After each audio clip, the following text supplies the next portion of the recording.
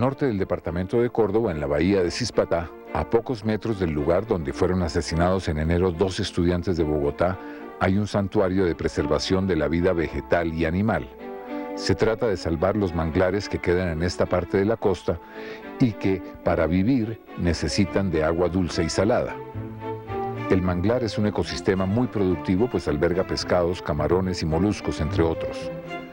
Algunos ganaderos, la expansión urbana y el desarrollo turístico son sus principales enemigos.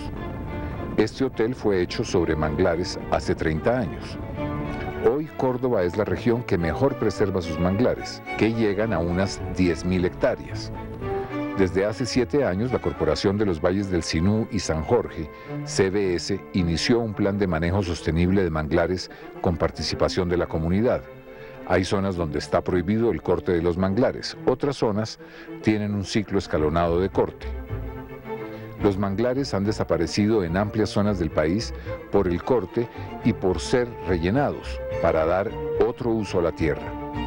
Aquí 367 mangleros han creado seis asociaciones comunitarias para preservar el manglar. La bahía de Cispatá tiene una alta biodiversidad.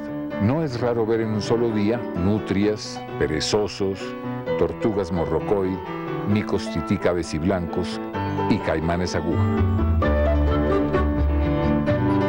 En este lugar, desde hace siete años, Giovanni Ulloa, experto en cocodrilos a nivel mundial, y su señora han logrado salvar el caimán del Magdalena, o Cocodrilus acutus, que aún está en la lista mundial de animales en vía de extinción.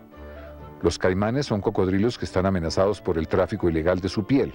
Colombia es el país más diverso en cocodrilos. De las 23 especies que existen, en nuestro país hay seis, seguido de Brasil con cinco.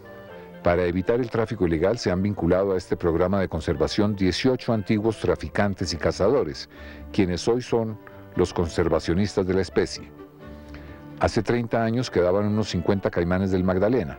Desde hace cuatro años se han liberado cerca de 2.000 individuos como este, que en promedio tienen un metro 10 de largo y que podrían llegar a 5 metros de largo al cumplir 30 años de edad. Este centro de conservación de cocodrilos es considerado el mejor de Sudamérica. Colombia es el país que más exporta pieles de babilla en el mundo, 600.000 pieles al año, obtenidas legalmente en zoocriaderos. El tamaño del comercio ilegal es desconocido. La CBS recibió solo el año pasado 46 mil millones de pesos de regalías y solo dedica 100 millones para el mantenimiento de este centro.